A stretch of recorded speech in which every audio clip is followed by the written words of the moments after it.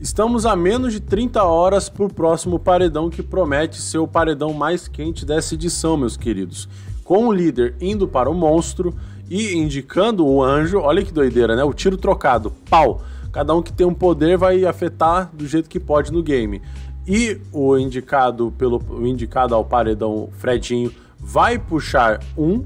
Teremos voto da casa que está literalmente quebrados entre Christian e o Fred Nicásio, e inclusive é isso que eu quero mostrar para vocês sobre essa treta de quem será o indicado pela casa, Christian ou Fred Nicásio. Larissa diz que a casa deve votar no Fred. Se liga nessa.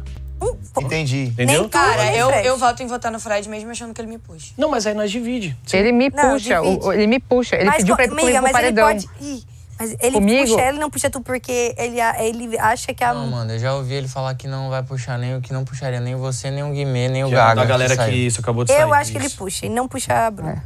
Eu Te acho. puxa? Diferente, Ele você puxa mais, não te puxa. Ele me puxa, ele já falou que Não, mas olha só, ele como segundo, mas eu talvez nem tenha contragolpe. Cara, pra ser sincero, não vai ter contragolpe. Mas se tivesse o Fred Nicásio fosse o indicado e o, o voto fosse ali aberto, né? Que o voto vai ser um, um voto aberto, a gente tomaria por base que o Fred Nicásio possivelmente puxaria o Cris.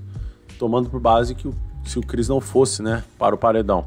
A casa tá maior do outro lado. O quarto, o quarto fundo do mar tá, tá, tá superior ao quarto deserto em voto da casa. E, inclusive, indicarão o Cris ao paredão, cara. Pelo que tudo indica, Key Alves, Gustavo, Mávila, Fred Nicásio, Domitila, Sara e também algumas pessoas do outro quarto que estão pensando como Aline, que não vai votar no Fred Nicásio, vai acabar in- in- indo no Cris, né, cara? Não vai, vai, vai preferir ir na zona fácil.